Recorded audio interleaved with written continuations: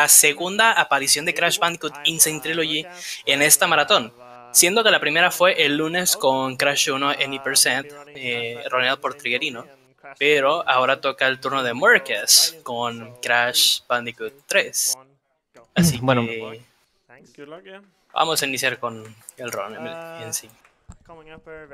Murkas es un súper buen runner de este juego, tiene segundo puesto en Any Percent. Eh, es una gran persona, es re buen amigo mío. Y la verdad, el run de, de este juego es muy, muy interesante. Entonces vamos a ver bastantes cosas uh, raras, como por ejemplo acá al inicio. Eh, pues aquí Creo que se cambió a Coco, ¿no? sí, lo que sucede aquí es que, como bien sabemos, ya en Insane Trilogy se nos añadió la opción de que tanto en los primeros dos juegos podemos jugar con Coco y también que en Crash 3 en casi cualquier nivel podemos jugar también con ella. Lo primero que hizo Morques aquí fue que al iniciar el run, él decide añadir a Coco de una vez.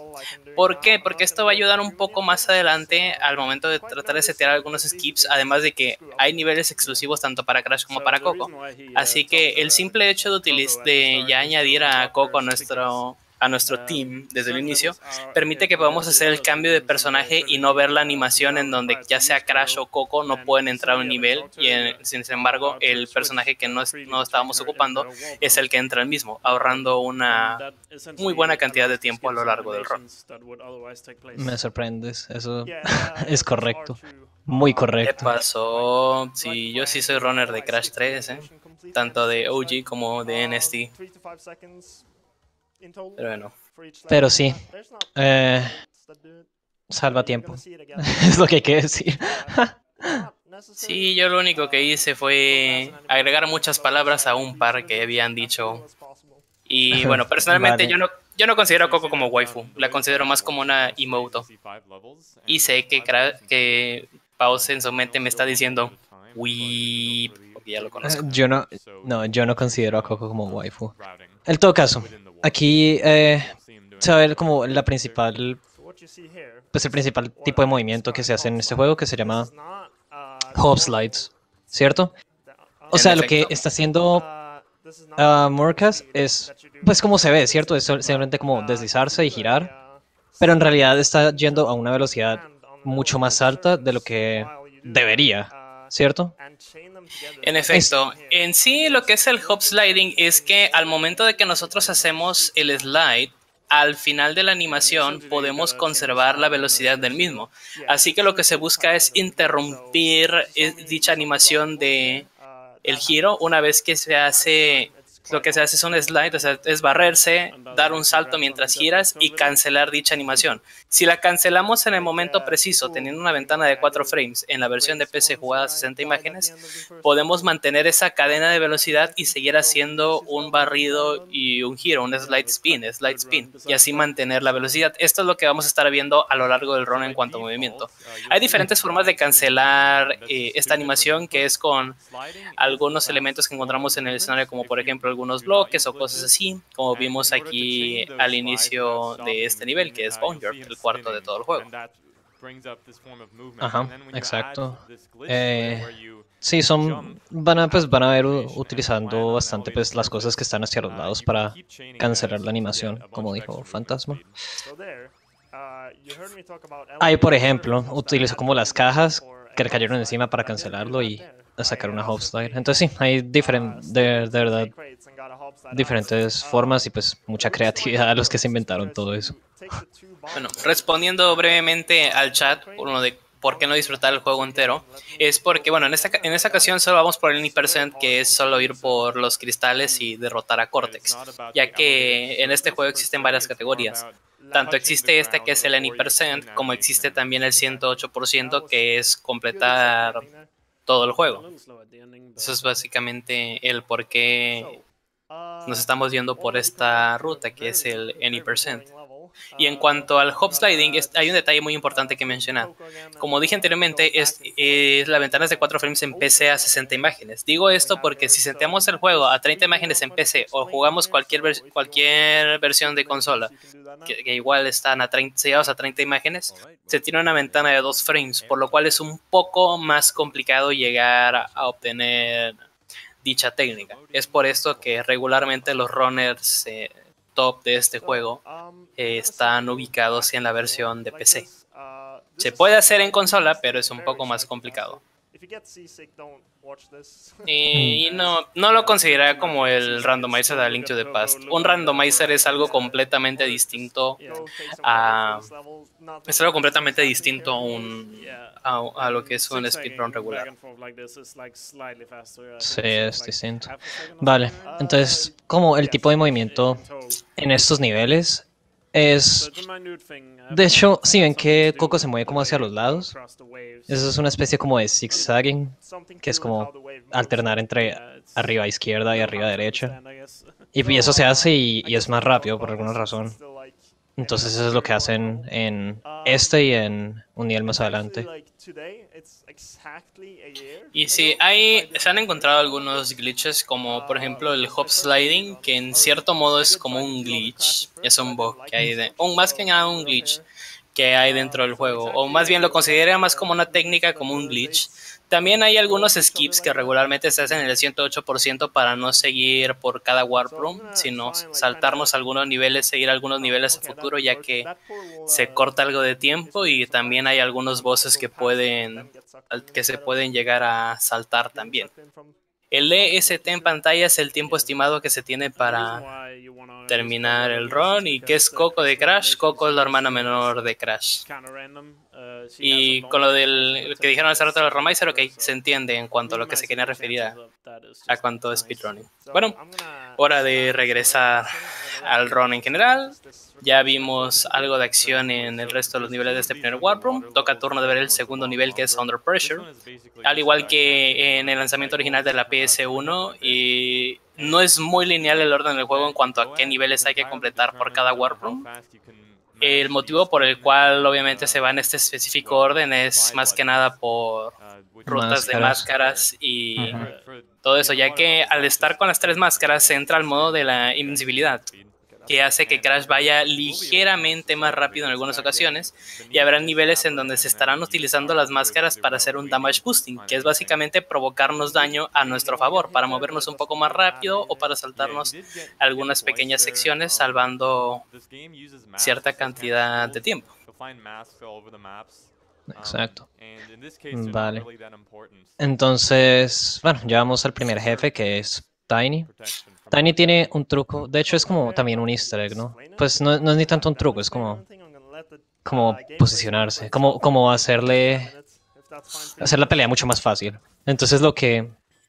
Ah, no. Ah, verdad, sí, es que no por yo, yo, estaba esperando, yo estaba esperando a ver qué ibas a decir, sabía que ah. ibas a salir con esto. Y aquí, los que iban preguntando por los box, aquí ya llegamos al primer glitch, que es este, este skip que vimos acá con esto nos saltamos por completo la primera boss fight, que fue Tiny Tiger, que toma una muy buena y me dejaste seguir, y me dejaste hablar, ¿no? Sí, porque luego dices que yo no te dejo hablar. Es que yo cuando es que yo estaba esperando a que dijeras eso porque yo dije, bueno, va a comentar lo del Easter egg y ahorita va a decir que nos vamos a ir allá. Pero como yo es que mira, yo estoy aparte también eh, más acostumbrado a ver. No, no, no, yo te... a ver, tú sigue, tú sigue, tú sigue. ¿Qué vas a decir?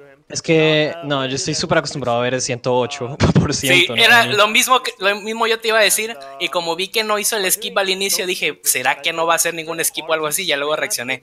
La ruta de Lenny es diferente. Pero sí, verdad, porque ellos se, saltan, ellos se saltan dos jefes. Ellos se saltan, ellos no, se saltan no vayas a decir, no, no, no, no lo digas. Deja que lo veamos más adelante. No hay que espolear, no hay que espolear. Relájate, tranquilo, compadre. No pasa nada malo. Y no, estamos cooperando no estamos peleando ni nada de eso. Vale. Entonces, bueno, como el, truco sí sé cómo funciona. Eh, básicamente lo que... Sí, eh, si quieres lo explico. Sí, adelante. lo que hace el, bueno, el truco es que si tú cambias, o sea, si tú te subes a la plataforma que está en el centro, ¿cierto? Que en realidad te tendría que llevar al, al sexto mundo, el warp, o como le quieras llamar. Y bueno, estás como cambiando el personaje. O sea, solamente se puede hacer si puedes cambiar el personaje. Entonces, pues lo hace para cambiar a Coco. Y adquieres algo de movilidad. Entonces puedes saltarte el coso de electricidad. Entonces puedes entrar de una al siguiente warp.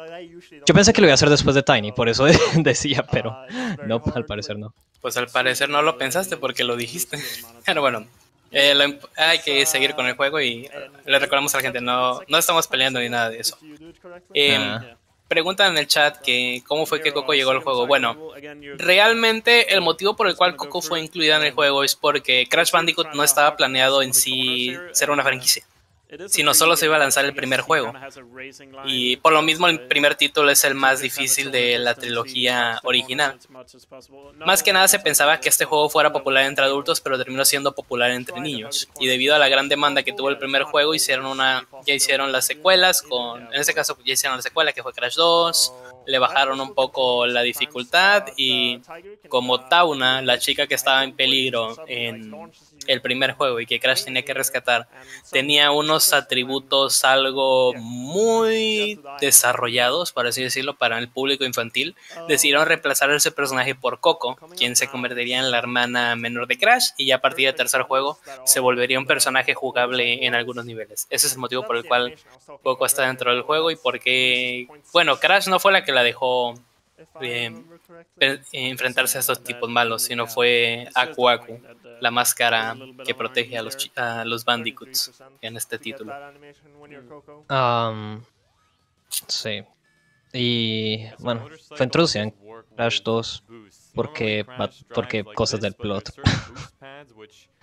que a nadie le importan.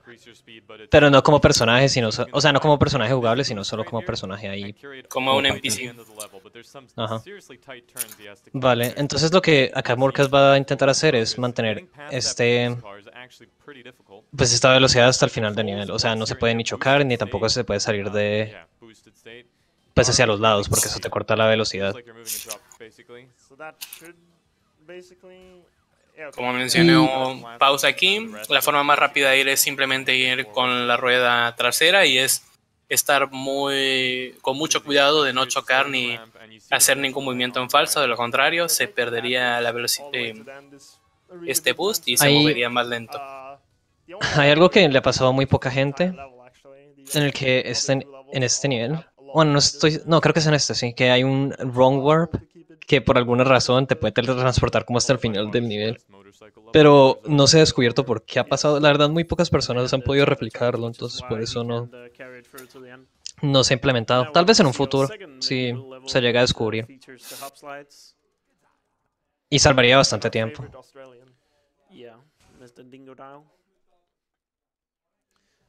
And if you're wondering, uh, they're called hop slides because they were named after another spiral runner that bueno, acá eh, van a ver pues más hop slides.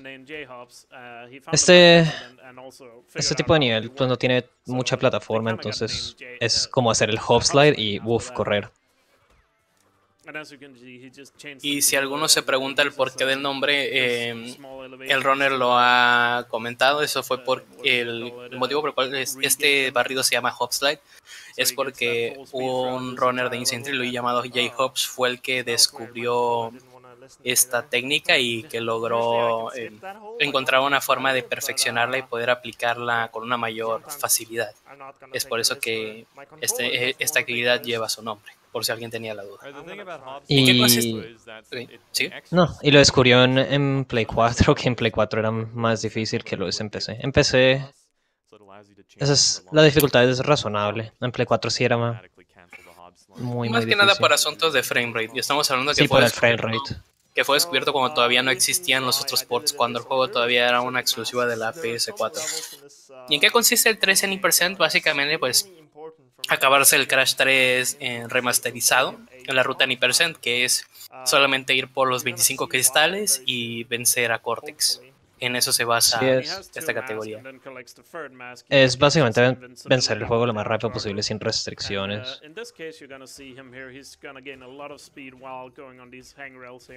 Bueno, acá en este nivel es súper importante tener la invincibilidad, o sea, las tres máscaras, porque en los... Ah, ¿cómo, le? ¿Cómo uno le diría eso en español? En estas cosas donde uno se cuelga. Estos rieles que encontramos Sí, en esos el- rieles. en estas, eh, como podemos ver Eh, aquí con la invencibilidad, eh, podemos movernos un poco más rápido. en los en estos rieles. Sin invincibilidad uno anda súper lento. Entonces es una de las invincibilidades que más tiempo salva en, en el run. Ándale, Rejas, es el nombre correcto. Gracias, Lexu. Sí, porque en inglés, en inglés es handrails, entonces como que, uff, ahí sí me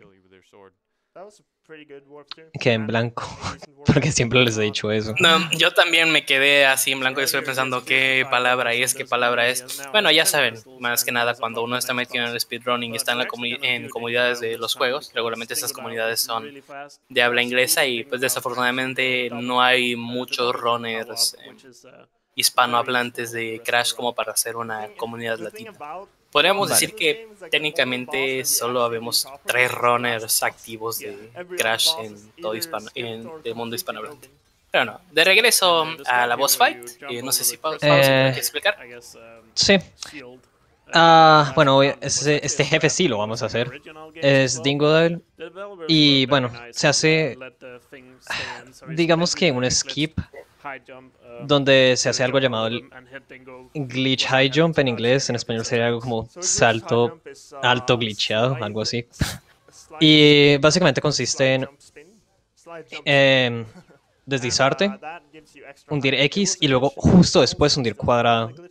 Y obtienes un salto bastante alto y te puedes saltar esos cristales. Y pues irlo a pegar, irle a pegar de una al Dingodile. O si no, te tocaría esperar a que Dingodile rompiera todos esos cristales para ir a, para ir a pegarle y perderías un resto de tiempo. Bueno, como Eh, os mencionó, esa es la, la ruta normal en la que derrotas a Dingodile es que después de que él avienta unas bolas de fuego a las afueras de donde él se encuentra, él mismo empezará a destruir los muros y con eso uno se acerca. Y como dato curioso, este glitch eh, llamado Hack Jump en los, en los juegos originales de la PS1 era un glitch, pero en Insane Trilogy fue añadido a propósito, ya que en algunas pantallas de carga, en los consejos que el juego te da, ellos mismos te incentivan, esos, esos mismos tips te incentivan a hacer el salto alto. Exacto.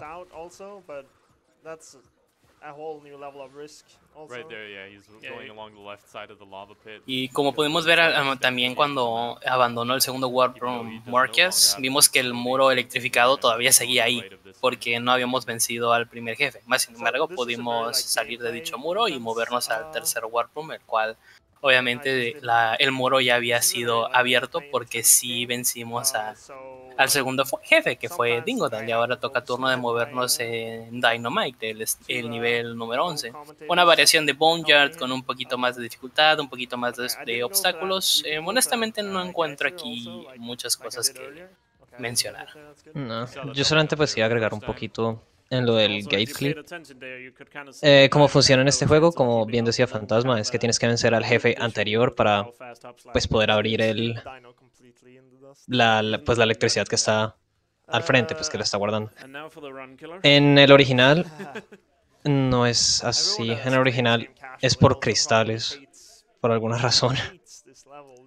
Y es interesante que menciones al original porque mucha gente ha probado y sí se han podido hacer estos gate clips, pero toman demasiado tiempo y son eh, extremadamente difíciles. Es, Sí, es es un momento muy inconsistente. por lo mismo no es una técnica que se llega a aplicar en el speedrun. Um, Así que quizá el día en el que alguien se anime a encontrar una mejor forma de ejecutarlos, quizá los llegaremos ver a, a ver a futuro. Ahí está el incentivo. ¿Cuál era? No, el incentivo de, de alguien que descubra eso, por favor. Ah, cierto, se me olvidó. Lil, yo creí que estabas hablando de un incentivo de Crash. Ah, no. Todavía sigo triste del de lunes. Ah, sí, es- Pues, ¿qué se puede hacer? Vale. Él perdió, perdió una máscara En en accidente, entonces hay un damage abuse que no puede hacer. Um, Y eso también es importante Es que mencionar. esos ciclos... Sigo- no, pues sigue si quieres. No, continúa con los ciclos. Vale. Entonces, por ejemplo, este nivel es muy basado en ciclos. Entonces, si pierdes alguno, es uno que ya está acostumbrado tanto a, pues, a los mismos ciclos. Siempre es bastante difícil eh, como volver a tomarle el y saber en qué ciclo estás después de haber hecho un error. Entonces lo tomó un poquito más lento para no morir, pero pues está bien. Y bueno, aquí eh, extendiendo un poquito esta explicación, este juego está basado en ciclos en cuanto a saber qué enemigos o qué obstáculos van a actuar o algo así. Además de que las máscaras, como se mencionó anteriormente, son importantes para hacer damage boosting y para ciclos de invencibilidad. Solo que hay ocasiones en las que si se pierde una máscara accidentalmente, la ruta suele cambiar por completo. Y esto es algo también que se aplica en la versión original, ya que si pierdes una, si pierdes una máscara y en otro nivel la necesitabas, tienes que ir por, en ocasiones por algún nivel adicional en donde las máscaras no sean muy importantes o donde puedas obtener máscaras extra. Se pierde un poco de tiempo, pero es mejor hacer esto a irse regular por el nivel sin aplicar dichos ciclos. Bueno, sin aplicar dicha táctica. Vale. Eh, este nivel por alguna razón es el más difícil de los de, de los de carreras. Y son tres en total en el juego y curiosamente el segundo es el que sí suele ser muy difícil tanto en esta versión remasterizada como en el juego original. Más que nada por eh, la cantidad de obstáculos y por cómo los, eh, los otros corredores, como los enemigos en este caso, pueden ser un poco más agresivos en algunas ocasiones. Sí, pero pues obviamente Marcus no va a tener ningún problema con el nivel. Sí, ya está de primero, entonces pues... ¿Es eso o es algo que el juego nos quiere hacer creer? ahorita ahorita se cae y explota. No, y así me, así me pasó en los primeros días en los que estuve roneando Crash 3 en Insane Trilogy. Yo bien feliz de la vida creyendo que ya iba, que iba a ganar porque quedaba en primer lugar y cuando veía quedaba en segundo. Pero ya, ya, yo por ahora estoy retirado de los speedruns de Crash 3 en Insane Trilogy. Y tengo mis razones. Pero eso no es lo que importa ahorita, lo que ahorita que importa es concentrarnos, como podemos ver aquí nuevamente hacemos realce en el comentario de la cantidad de obstáculos que hay en el juego y cómo algunos enemigos estuvieron eh, incomodando a Morques en el sentido de que lo chocaban para que este perdiera velocidad. Así que pues este, ya hemos acabado con la gran pesadilla de los, los niveles de, la de motocicletas que vamos a ver en este run. Falta uno que se va a ver en el último Warp pero no es tan complicado. Es largo, pero no es complicado de completar afortunadamente.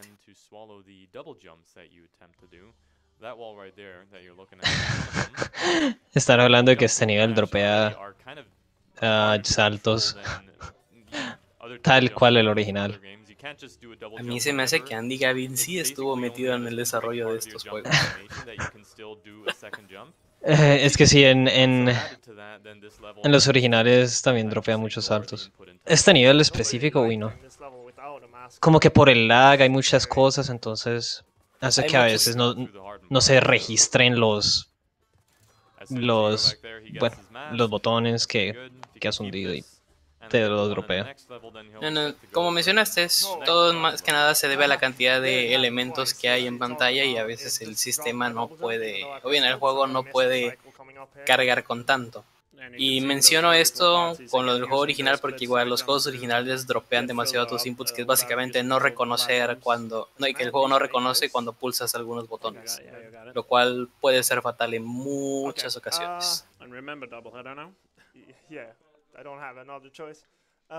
¿Cuántos niveles lleva de esa tercera zona? ¿Lleva tres o lleva cuatro? Ah, le falta double header y ya.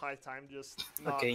El nivel 15 que es double header Aquí un pequeño dato adicional que no tiene mucho que ver con la versión remasterizada, pero sí con el juego original, y es que por alguna razón en muchas hay, han habido algunas ocasiones en las que los runners del juego de la PS1 les ha crasheado el juego en este nivel.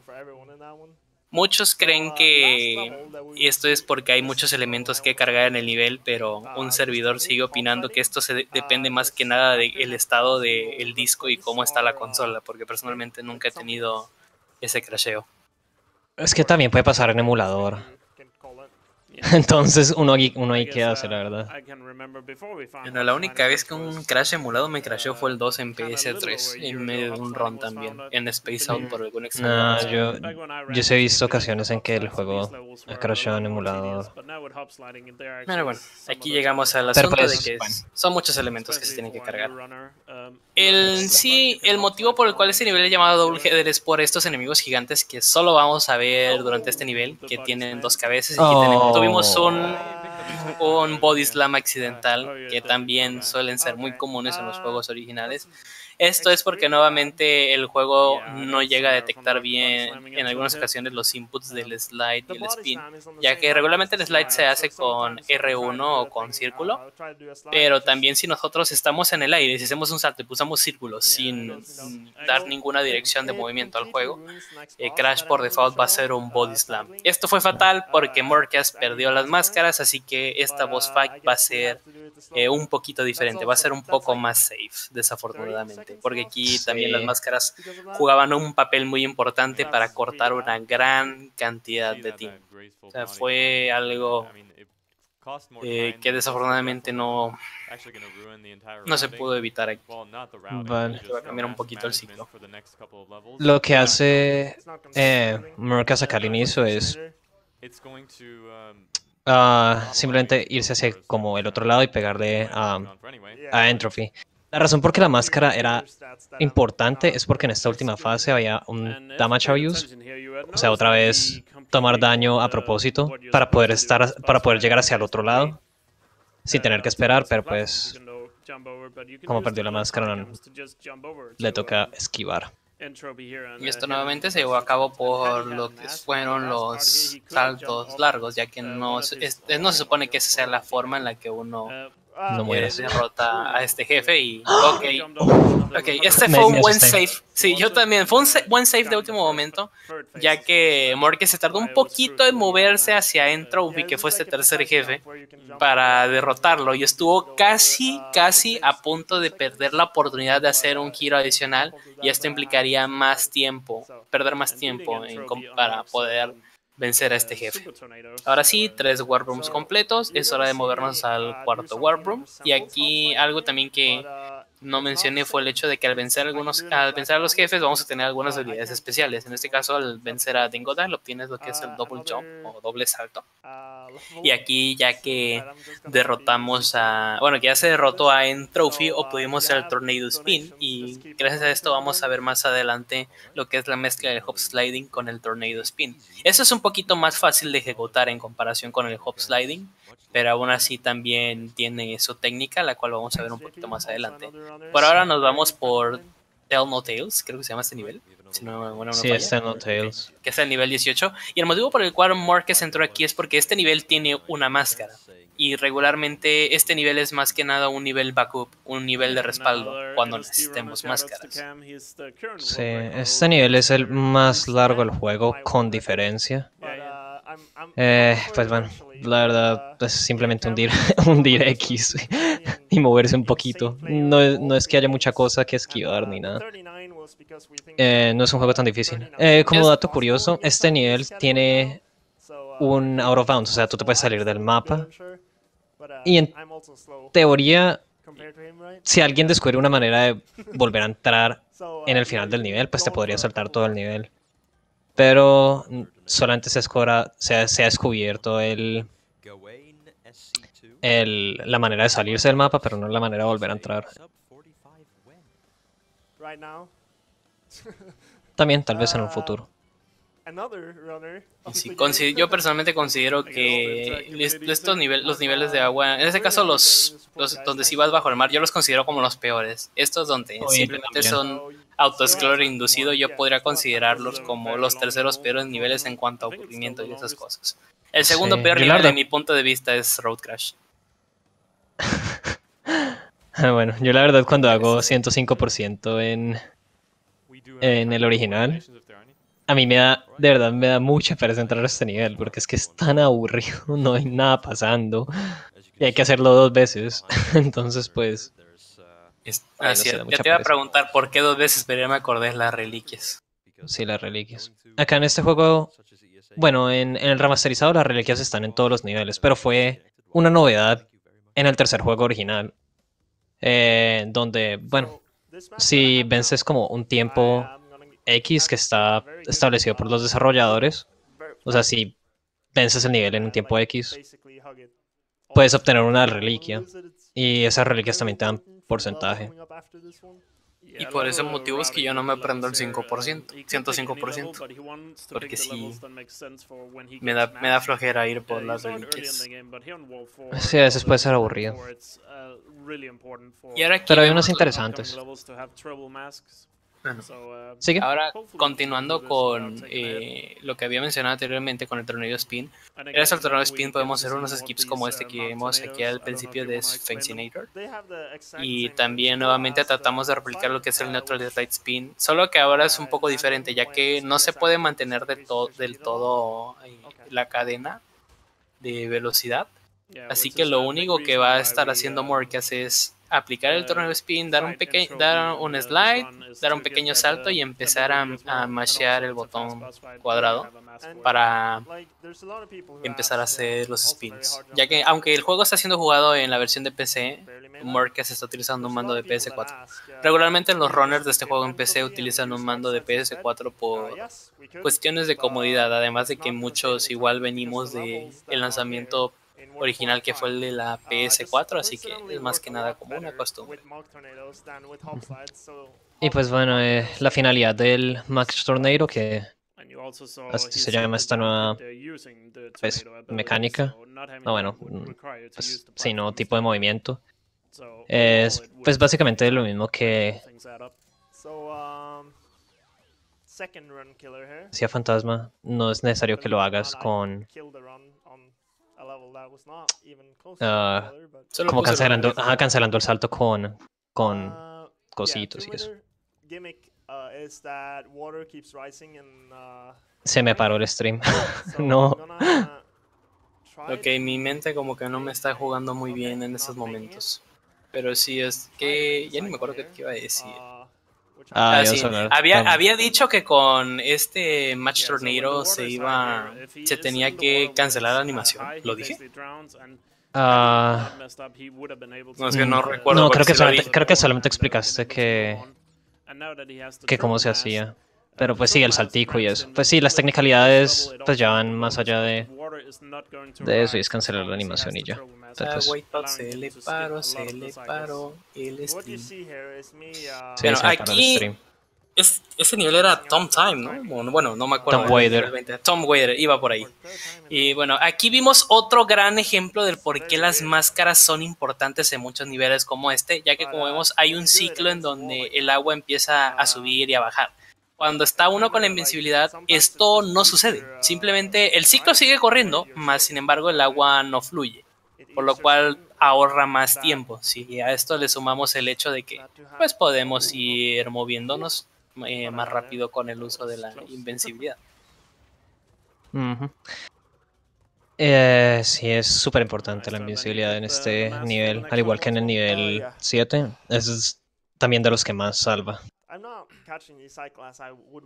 Bueno, eh, Iskandar en el chat, como yo te, eh, ahí donde te dejé el comando de la ISA, con el comando ISA puedes ver el link de el horario, que es el segundo que aparece, así que sí hay horario. Con el comando ISA, déjame lo pongo de nuevo, ahí vas a ver en donde viene el link para ver el horario del evento, el cual se, se, se actualiza en tiempo real.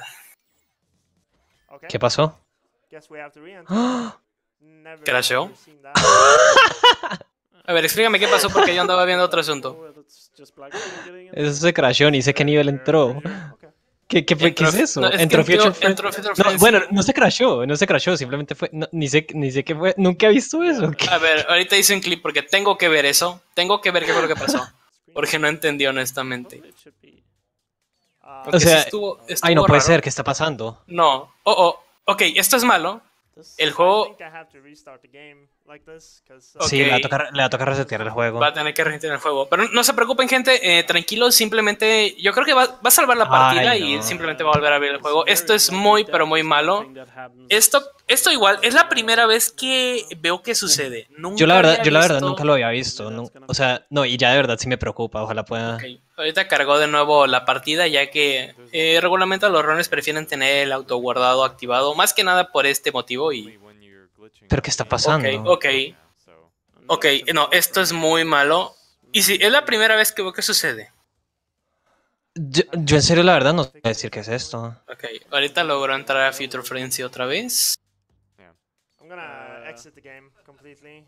Ok, va a cerrar el juego y lo va a volver a abrir. Difficulties. Esto la verdad es... Es algo lamentable lo que está sucediendo, pero como mencionamos anteriormente, nuevamente aplicamos el cliché de los maratones de speedrunning. Esto nunca había pasado. Ay no, Marcus. Que... Ay no. Porque ah, él practicó muchísimo para esta run. Y Y, no, de verdad que pase, de verdad que pase esto sí es. O sea, pues sí, la primera vez como que sí da gracia, pues porque, bueno, como cosa de maratón, pasan unas cosas, pero si ya es consistente, de verdad, sí ya empieza a preocupar. Y pues él, yo sé que yo pus, yo sé que puso muchísimo esfuerzo en este run, entonces ojalá pueda, pueda seguir. Sí, aquí El- igual Market lo menciona, es la primera vez que sucede, no se había visto anteriormente, no se sabe qué está pasando con el juego. Al parecer ya está yendo bien, así que vamos a esperar que así sea este asunto. Ojalá y todo vuelva a cargar bien. Oh my god. Y pues obvio, ahí cogieron el, el coso de Marcus. El, Ok, y ahora el sí. Ya, ahora, eh, otro problema que existe está en que por alguna extraña razón el juego a veces te quita tus máscaras cuando sales de los niveles. No entiendo exactamente del todo por qué hace esto, pero igual el sistema de máscaras es pésimo desde que se lanzó el juego por primera vez en PS4. Inclusive en las versiones actuales sigue ese detalle con las máscaras, así que como salvó el juego, RIP máscaras, así que va a ser un poquito más lento la ruta de este nivel. Menos mal este, este juego tiene pues esa manera rápida de guardar. Eh, porque si no hubiera sido peor lo que lo que pasó. Entonces, pues, bueno, perdió tiempo, pero no mucho. Pero pues, ¿qué se puede hacer? Eso sí es desarrolladores siendo muy buenos y teniendo estos, estos errores en, en la programación. La verdad, este, este, el Crash 3 es el más, eh, pues el menos estable de los tres. También hay un nivel extra que se llama um, Future Tense, que fue, ajá, fue un DLC que agregaron. Y eh, en ese nivel se te puede crashear el juego como en tres sitios distintos. Entonces no sé, no sé la verdad los desarrolladores cómo programaron esto, pero La verdad, La verdad te agradezco que mencionaras a Future Tense porque olvidé decir esto cuando se hizo el primer skip, eh, el primer boss skip con Tiny, que fue este esta plataforma que vimos, que se, que se vio al principio del nivel es al principio del juego en el Warp Room es la plataforma que te lleva a este nivel a Future Tense. Así que con el uso de ella se puede hacer este wall skip y con ello también saltarte al primer jefe aún así no es posible saltarnos a todo e irnos directo, directamente al último Warp Room porque necesita, el juego necesita reconocer que tenemos 25 cristales, de lo contrario eh, la, la, la, batalla de jefe final no se activa en el juego. Así que si solo vamos por las cinco, los 5 cristales de nivel, se desbloquearía el primer jefe que sería Tiny Tiger. Ahora nos vemos a Bye Bye Blims, que es el nivel 17, y otro nivel que fue programado para Coco y que por alguna extraña razón este, este nivel es infinitamente más fácil en Insane Trilogy que en los juegos originales. Aquí lo único que hay que hacer es destruir estos siete dirigibles, tienen una gran hitbox, no es un gran problema, además de que es más fácil apuntar en Insane Trilogy que en el lanzamiento original. Uy, sí se nota, la verdad, que no es fácil.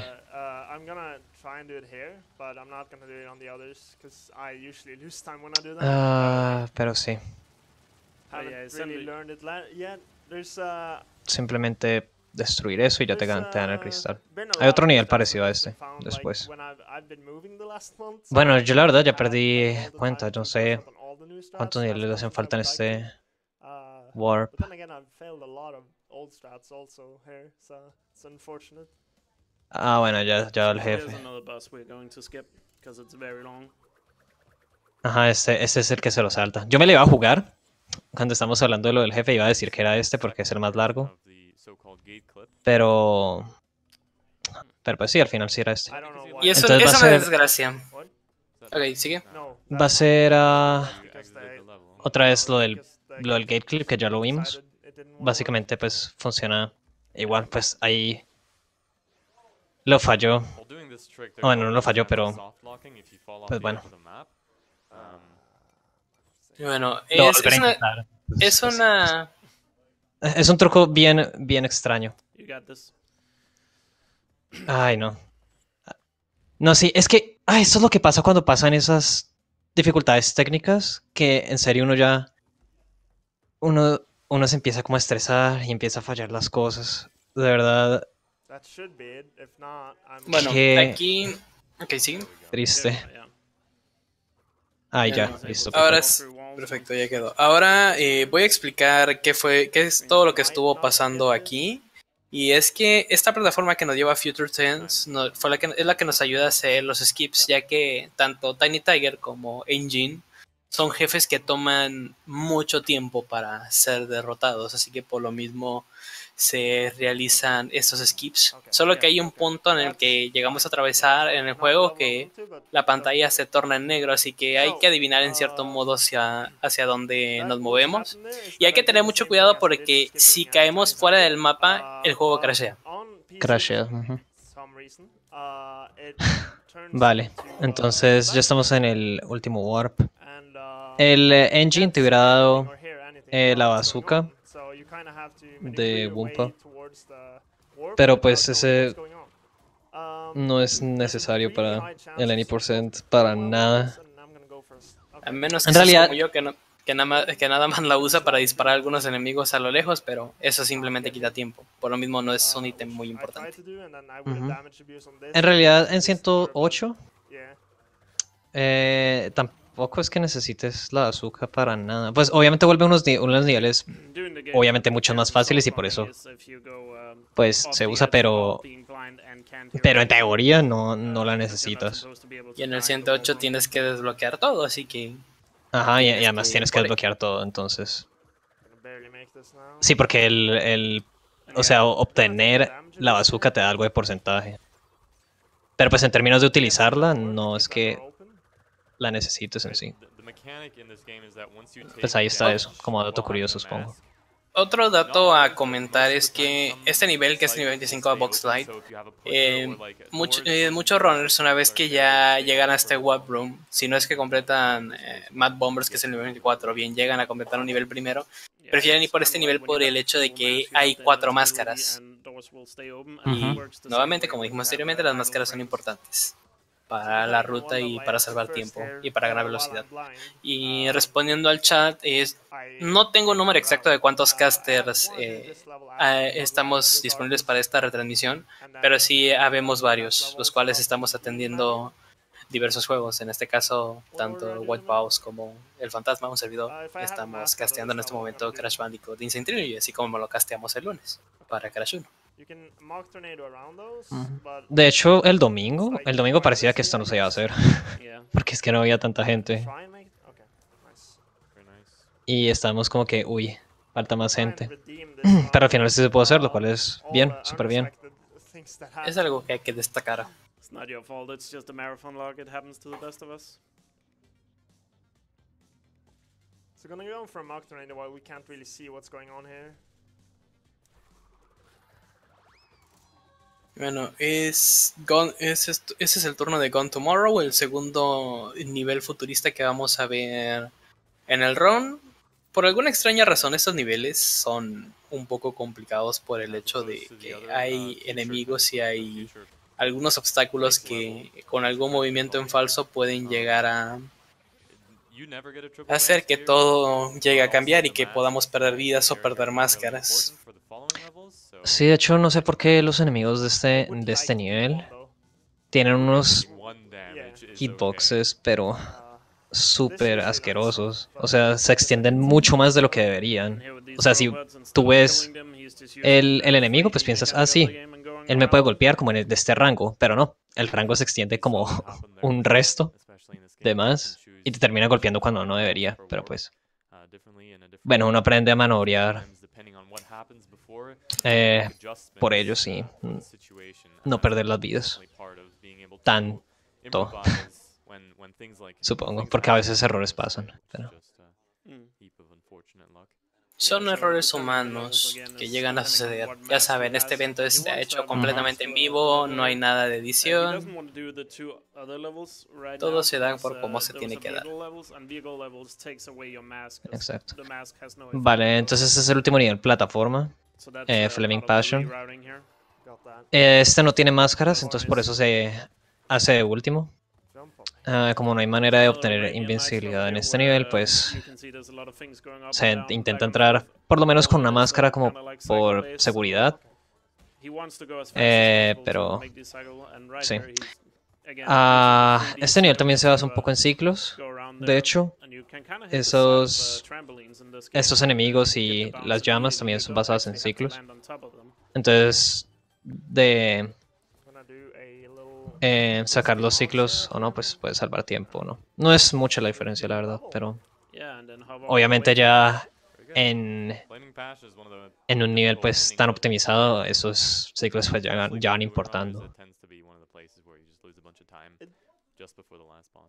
Y bueno, quedan dos niveles, eh, Mad Bombers y, y Orange Asphalt, que son dos de vehículos. Entonces va a ser Mad Bombers primero. Así que al menos ya terminamos con Flaming Ass, que la verdad es un gran pace killer para muchos Sí, de la verdad, nosotros. la verdad, Flaming Passion es un nivel muy difícil en ambos, en ambos ah, versiones. Ese es el segundo nivel que vamos a ver de aviones, que es en Mad Bombers. Es, el concepto es similar a Bye Bye Blimps, pero aquí la diferencia es que vamos a estar disparando a estos aeroplanos, solo que la hitbox es reducida, ya que tenemos que darle a los motores que estas naves tienen, que son dos. Además de que en Bye Bye Blimps, si los enemigos te hacen daño, te quitan un 1% de salud y en este nivel te quitan un cuarto por ciento. Y como otro dato adicional, eh, Bye Bye Blimps es un nivel exclusivo de Coco en el juego original. Y en y Mad Bombers es exclusivo de Crash. Eh, si nosotros tratamos de jugar este nivel, eh, si tratamos de jugar Bye Bye Blimps con Crash en este juego, no el sistema no nos deja. Más sin embargo, si entramos con Coco, sí podemos jugar al nivel, lo cual es algo que se me hace meramente curioso, ya que en el anterior no se puede entrar con Crash, solamente con Coco. But that's, at- at- in that level it's Ujú. loud. It's not loud otherwise. Y bueno, el último nivel pues será Orange Asphalt, que es otro de carreras.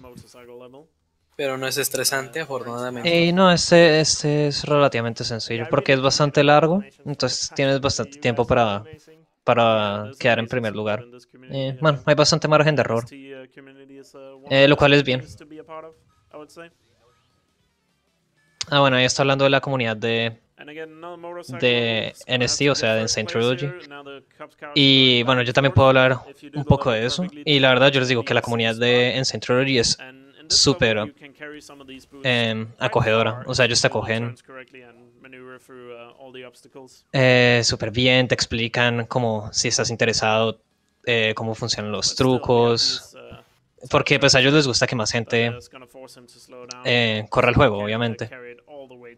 Entonces, pues siempre están súper dispuestos a ayudar. Y la verdad, yo conozco varios que, que corren esta serie y, y son muy buenas personas. Entonces, si alguien está interesado en correr a alguno de los tres del Insane Trilogy, eh, definitivamente pues si hablan inglés, eh, pueden ir a los al al, al la- servidor de Discord que tenemos Ajá. para la que se tiene para la comunidad. Si no saben hablar inglés, pues en este caso ya tocaría consultar a gente de habla hispana con este conocimiento. Yo por mi parte, y si alguien tiene dudas acerca de ronear tanto los juegos originales como las versiones remasterizadas, siéntanse libres de preguntarme. Yo con mucho gusto los apoyaré en lo que pueda. No soy un top runner, y, pero tengo algo de conocimiento avanzado en el área. Aunque eso sí, yo voy a decir honestamente que Wild Pause tiene un mayor conocimiento en los juegos originales más que yo, además de que él tiene el récord en el Crash 1 original en el percent así que no sé si él también esté gustoso de ayudar a... Ah, no, claro, yo, yo, yo súper gustoso de, de ayudar a, a gente nueva. Me gustaría, me gustaría de hecho que llegaran más runners de habla hispana. Así podemos dominar. Sí, porque o sea, o sea técnicamente de toda Latinoamérica, eh, solo nosotros dos somos los únicos runners activos de, de Crash Bandicoot en, lo que es en Insane, Insane Trilogy. Perdón, en, en, los juegos originales. En Insane Trilogy yo soy medio activo de vez en cuando. Ya luego que Paus actualice su setup eh, de su PC, yo le voy a regalar el Insane Trilogy. Porque siempre que le digo, Paus, ¿cuándo Insane Trilogy? Él siempre me responde, ¿me lo vas a regalar? Así que supongo que voy a tener que hacer la inversión. Pues respondiendo, okay, responde brevemente al chat y okay.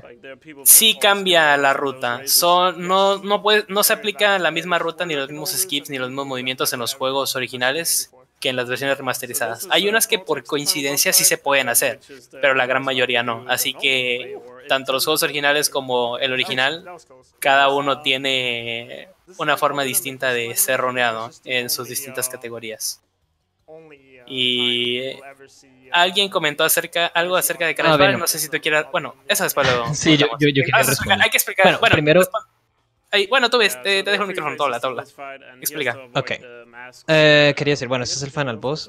Es un auto-scroller. No hay una manera, pues, así de de volverla más rápido. Ajá. Entonces, pues, simplemente es eso, esperar.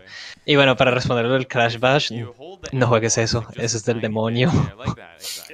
Y si hablamos de runners, que si, acerca de si, que si un run de Crash Bash es divertido, creo que tu PB es 2 horas 26 minutos para Lenny, ¿no? 29. Pues para Lenny. Para el 200% es 16 horas. Uh. Así que, bueno, también pausa roneado Crash Bash, así que tú puedes decirnos, ¿ronear Crash Bash es divertido? ¿Sí o no? No. Ahí está, ya tenemos, ya tenemos la respuesta de un runner experimentado del juego. Crash Bash es un juego que no es divertido de ronear. Y créanme, aléjense de ese juego. Si, eh, si quieren casual no hay problema, pero en speedrunning, aléjense. Es lo único que les decimos. Aléjense. Ese juego es, es que la verdad el juego es muy muy difícil eh, y llega a ser frustrante. Pero bueno, acá se va a acabar el run. Cuando, cuando entre al portal, se va a acabar el tiempo. Ajá. Y tiempo. Tiempo. Aquí hay que destacar algo, que a pesar del el detalle técnico que se tuvo con ese crash, eh, a pesar de ese crasheo y que estuvo que reiniciar el juego, sí se pudo terminar el juego dentro del estimado. Eso es algo importante de destacar. Y por si alguien tenía la duda, el récord mundial de este juego sin tiempos de carga es de 40 minutos con 17 segundos por Cameron Vengeance. Y el tiempo de este runner, que es Morcas, que está en el segundo lugar, es de 40 minutos con 54 segundos. Sí, la verdad, o sea, súper bien Morcas que pudo o sea, sobreponerse a, ese, a esas dificultades técnicas porque la verdad, uy, e, es difícil cuando pasa, pero súper bien. Y obtuvo, de hecho, un tiempo aún así bueno, o sea, de, por debajo del estimado y seguramente sin tiempos de carga pudo haber sido como 42, 43. Entonces no está nada mal. Y bueno, me imagino que eso sí es el incentivo. Que, que bueno, me imagino que sí hubo un incentivo. Es, lo que, voy a buscar ahorita. Si había un incentivo acerca de jugar este nivel que es Future Tense, que es un nivel que no existió en el juego original, que fue añadido eh, recientemente y que por algún motivo es muy probable que te llegue a crashar el juego.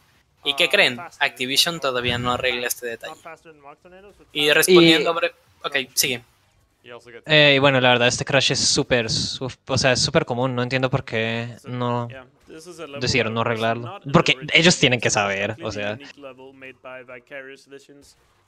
Ellos tienen que saber el por qué falla el juego, tienen que buscar el detalle en el código y tienen que arreglarlo, pero pues hasta ahora no ha habido eh, solución alguna. Y yo creo que así está bien porque capaz si quieren parchar a futuro el hop sliding o algo así. Dudo mucho que por ahora lo hagan, pero esperemos que nunca eh, suceda. Respondiendo brevemente al chat, eh, Twin Sanity es muy bueno para speedrunning. Ya hablando de los juegos de Crash que no fueron desarrollados por Naughty Dog, Crash Twin Sanity es un muy buen juego, tiene muy buenos skips, pero eso sí, vas a requerir eh, conseguirte la versión europea, la versión PAL del juego, ya que hay momentos en la versión NTSC que el ROM puede crashear. Eh, también, bueno, hablando de Twins, la, bueno, la versión PAL, como decía Fantasma, es no solo más estable, sino que también hay un glitch que te puede pasar en la versión eh, ¿Americana? americana, que cuando tú te deslizas, a veces el juego se desliza como hacia el lado, como hacia un lado contrario, entonces eso, eso te puede llevar a perder runs. Entonces eso hace que la mayoría de, de runners de Twin Sanity que están por acá en, en las Américas eh, tengan que conseguir la versión PAL. Y bueno, eh, Morcas lo está haciendo al 100%. Es básicamente obtener, bueno, romper todas las cajas para obtener la gema. Y, y este nivel, bueno, la verdad, si fuera solamente como pasarse el nivel, sería un nivel corto. Pero ahí, bueno, no, no se crasheó el juego. Ahí es donde se puede crashear en ese ascensor. Eh, pero sí, el nivel sería mucho más sencillo. La dificultad está cuando ya decidieron agregar las cajas y como en el diseño del nivel. Y aquí nuevamente hablamos de otro detalle, ya que completar el juego al 100%, el 100% era el 105% en el juego original y al principio, eh, en los, en- antes de que se lanzara Insane Trilogy en otras plataformas, cuando era exclusivo de PS4, igual la categoría para completar todo era el 105%, solo que Future Tense añade un, por, tres, un 3% adicional por la gema que tiene, por todas las cajas y por la reliquia del contrarreloj. Por lo mismo ya no existe el 105% en Insane Trilogy, sino que ahora es el 108%.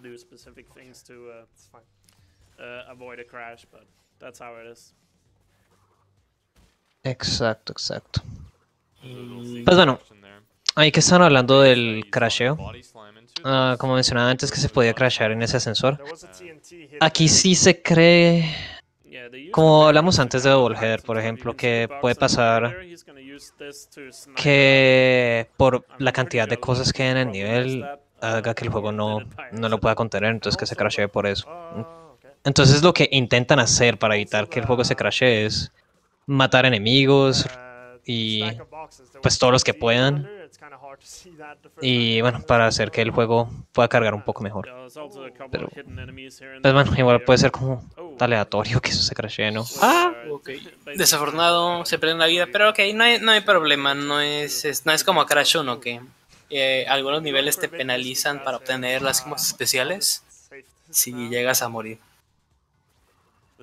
Hablando de la versión remasterizada, claro está, porque en el juego original mueres después de un checkpoint, te toca salir del nivel y volver a entrar. Ujú.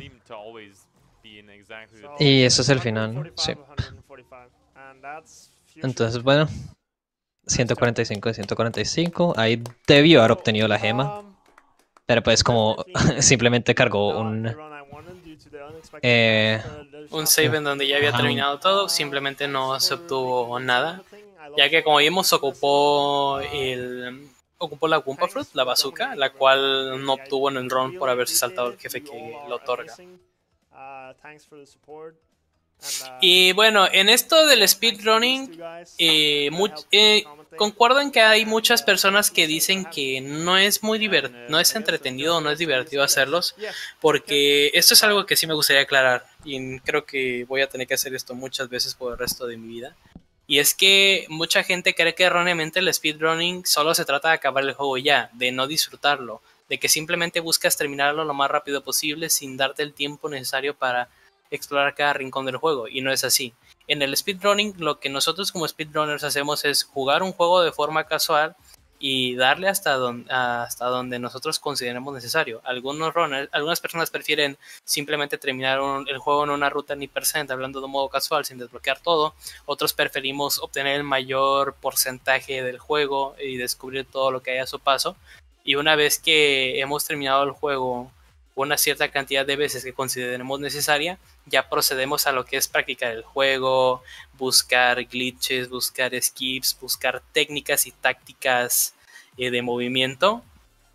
Y así siempre ha sido. Antes inclusive, eh, bueno, el speedrunning de hoy en día no se compara, por ejemplo, con el de hace 10 años que todavía estaba en pañales. Ese en efecto no había guías ni nada de eso, pero no era necesario guías, simplemente te acababas el juego, hablabas con otras personas que también lo hayan jugado y que empezaran a hacer runs, y así era como se fueron armando todo. Afortunadamente hoy en día para los nuevos speedrunners hay juegos los cuales ya contienen, bueno, ya los mismos runners han hecho guías para que la gente se aprenda. Por ejemplo, en mi caso, yo me aprendí Splatoon 2 viendo un tutorial para hacer un run pero yo ya había terminado el juego casualmente desde antes y estuve practicando por mi cuenta. En otras ocasiones, para otros juegos, por ejemplo a mí para aprenderme los Crash, yo lo que hice fue acabarme los juegos casuales ya desde hace varios años y volverlo a rejugar hoy en día por volverme a adaptar el juego y una vez que había hecho eso, ver los speedruns que ya existían para ver la ruta, ver los tipos de movimientos. Igual preguntaba a otros runners del juego. Yo, por ejemplo, personalmente, igual en algunas ocasiones le pregunté a White Pause algunos detalles. De hecho, hasta la fecha lo sigo molestando de vez en cuando, preguntando con algunos detallitos que desconozco. Pero así llegamos a este, a otro a este asunto. Y no solamente es acabar el juego con lo básico, con el percent. Hay más categorías. Hay categorías en donde solo te terminas el juego con los elementos necesarios para desbloquear el final. Y hay otras categorías en donde te vas por todo lo que el juego tiene. En este caso, con Crash 3 en Insane Trilogy, existe lo que es el Any% y el 108%. El Any% fue la ruta que vimos aquí. Solamente ir por los 25 cristales y derrotar a Cortex. Y el 108% ya incluye lo que son todas las gemas, todos los cristales, todas las reliquias, todos los niveles en general. O sea, son diferentes categorías las que existen. Muchos prefieren irse por categorías percent porque llegan a ser más cortas de tiempo, otros prefieren irse por el 100% porque las consideran más interesantes. Existen diferentes categorías para todo esto. Por ejemplo, el récord mundial en any percent sin tiempos de carga para este juego es de 40 minutos y 17 segundos. Y para el 108%, que es completar todo el juego, son 2 horas, 9 minutos y 52 segundos. Así que no tengan miedo de descubrir el mundo del speedrunning. Hay diferentes categorías que les pueden ser interesantes. Hay una gran variedad de juegos disponibles y una gran cantidad de recursos para empezar a practicar y, y tener conocimiento en el juego. Así que la, la invitación es esa. Si alguien se quiere, quiere iniciar el mundo del speedrunning, no tenga miedo de hablar con la gente. Habemos runners hispanos de algunos juegos que con mucho gusto podemos también ayudar. Si no hay gente hispana, no tenga miedo de ser los primeros en acercarse a dichos juegos. Y pues eso es todo. Simplemente no buscamos terminar el juego porque si, si no buscamos eh, uh, la manera de poder explotar un juego de modo en el que se pueda mostrar qué tan humanamente posible es terminarlo en, una en la menor cantidad de tiempo um, posible con, con ciertas reglas determinadas.